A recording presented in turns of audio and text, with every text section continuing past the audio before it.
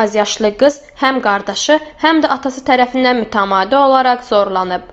Müsavat.com xəbər verir ki, bu iyrənc hadisə Göygöl rayonunda baş verib.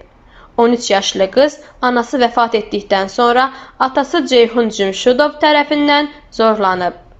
Cümşudov doğma qızına qarşı bu iyrənc hərəkətlərini dəfələrlə təkrar edib.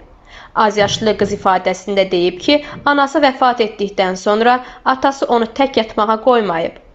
Birinci dəfə mənə dedi ki, tək yatsan qorxarsan. Onunla birlikdə yatmağımı istədi. Daha sonra da bunlar baş verdi. Həmin ərəfədə qızın qardaşı Yasim Cümşudov da bacısına qarşı eyni hərəkətlər etməyə başlayıb. Amma ata və oğul bu iyrənc hərəkətləri bir-birindən xəbərsiz edilmişlər. Bu şok hadisənin üstü isə Binəqədidə açılıb. Cümşudovlar rayondan Binəqədiyə köçən zaman azyaşlı qız məktəbə gedib. Məktəbdə bu hadisəni rəfiqələrindən birinə danışıb. Zorakılığa məruz qalan qızın rəfiqəsi isə bu barədə öz anasına məlumat verib. Bundan sonra hadisə barədə polisə xəbər verilib. Ata və oğul barəsində həbs qəti imkan tədbiri seçilib.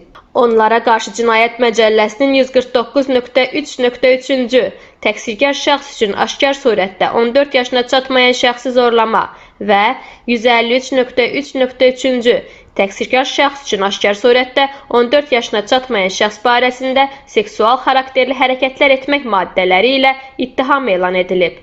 Hər ikisinin cinayət işi üzrə məhkəmə araşdırması Bakı Ağır Cinayətlər Məhkəməsində baş tutub.